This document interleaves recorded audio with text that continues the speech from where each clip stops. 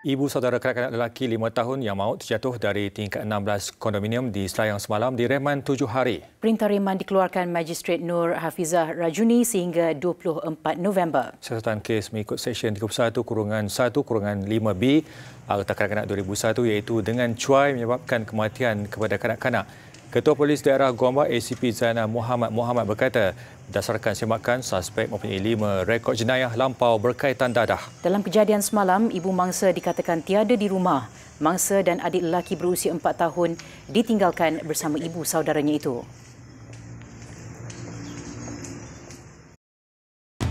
Telefon baru percuma untuk semua. Pilih mana satu anda suka tanpa perlu kelulusan atau pendahuluan. Padankan dengan pelan pascapai tanpa had terbaik kami.